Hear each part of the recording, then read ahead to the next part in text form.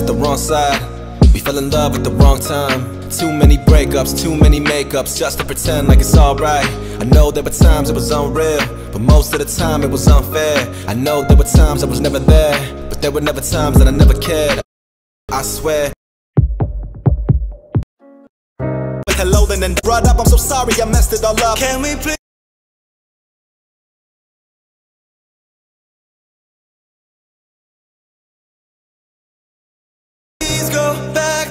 what we were. Where I tried my best to make things work, but it's not enough to erase your hurt. I deceived you, didn't mean. hello guys so let's get with the let's get started with the understanding of the code so basically um, to get the better understanding you can read this uh, article this tutorial I'll uh, give the link in the description and so this is basically the this audio player basically follows this. And it's just that background audio in flutter with audio service and just audio. So we are going to use the audio service and the just audio. So if you want to better understand it you can read this. I'll just put the link in the description. And uh, so let's get started with the basic idea of this application. So the basic idea is that we go into home and uh, then what we want is that we want to first check that if we are allowed to actually you know access the storage of the application. If we are allowed we can. And if it's not allowed then we will uh, just show uh, we will just uh, the next step will be to basically fetch the songs from the playlist okay so this get songs method will be called when we want to query the songs from the storage. Okay so what will it do? It basically go use the audio query dot query songs and when it completes it will just set the state. So basically it will just refresh it. And the all songs is a list of song model basically provided by the on audio query platform so if you can if you want you can read about it. And this list will be empty initially but it's a growable list so it can be growable you know. So same will be in a list for the playlist to show the playlist in the application. Basically it will be the playlist that are stored in actually the storage of the phone. So if you are trying to access a playlist created by another player you can access that. So starting with the build method there's not much in it and I'm not going to go through everything. It's just that some simple widgets that are working around. So the playlist card the icon button the section header these are just simple things and I hope you will understand these. It's there's not like much thing to understand right here. So you can read about it and it's uh, super easy and I hope you will get it.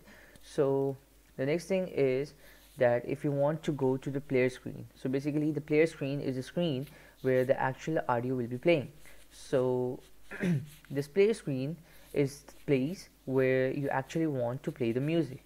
So first of all you want to like show an icon to basically like you know uh, put the screen back or to go back.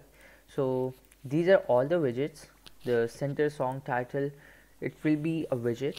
And uh, this widget will be based on the value listenable builder.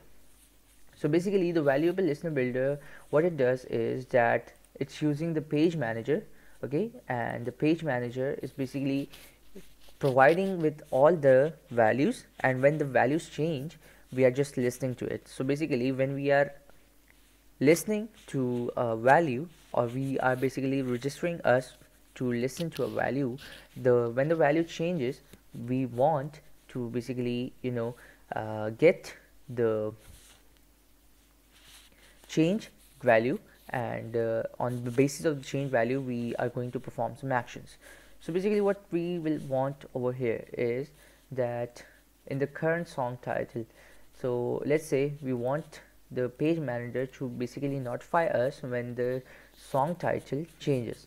So page manager your current song title notifier and this notifier will basically tell us when there will be a change or basically it will notify us when it will receive a change in the current song title okay? So it's not much of an like kind of an understanding but it's super easy.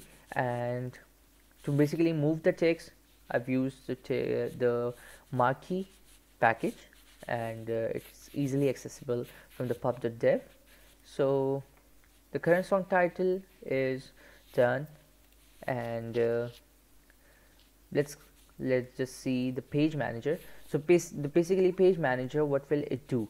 If we go to the main you can see that we are registering the page manager and we are using the init call. Okay so the basically the init method what will it do? First it will request the permissions. So what it's doing is that it's checking for the permissions then the get songs to get the songs then the playlist so it will just add the playlist and then we are registering this. So basically what we want over here is that we are registering us that audio handler.queue.listen so basically we are we have registered ourselves that to the audio handler that when the audio handler receives something that okay the playlist has changed it will just notify us and when we have registered this we will be notified when the playlist has changed.